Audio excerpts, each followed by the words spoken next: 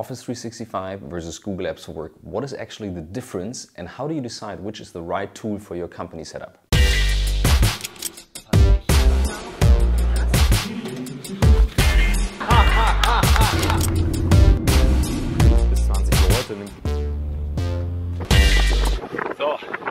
There are basically two major what we called cloud office tools out there. Cloud office tools, we say, is a tool that has everything a company needs or in the core needs, meaning your emails, your documents, your compliance, your administration, video conference. So to understand the difference between the tools and to make a decision that is good for your company, you need to understand where they're coming from. Whereas Google is native cloud, meaning they do everything online. Of course, you have offline features, but Google as a company is a very online driven company. Microsoft has grown out of the enterprise approach.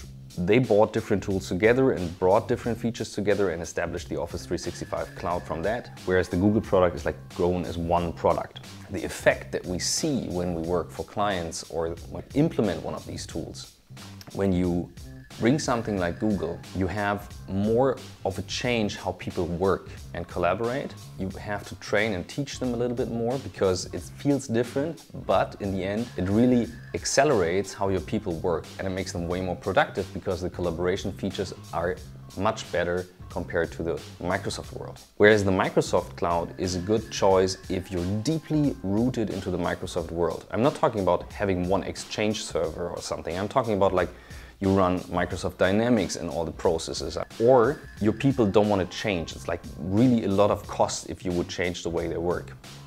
That's a major difference because with the Microsoft products, people tend to use the offline product more often because they're used to that. So they stick to the old Outlook or the old Excel, whereas with Google, people often say, oh, it's not the same product as Excel, I cannot do the same stuff because I'm using macros, which is simply not true. There is like JavaScript running, which is way more capable of what macros can do.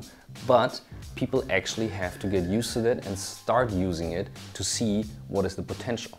From the experience, we see that the Google company is typically a younger company or a company that also wants to attract young employees, whereas the Microsoft company is a bit more established with older employees, maybe not the high frequency of employee turnover and attracting young employees. So that's the difference we see between these two tools and that's how you can make your decision. So ask yourself, do you want to change how your people work and establish a new way of collaboration that we think right now is faster and better?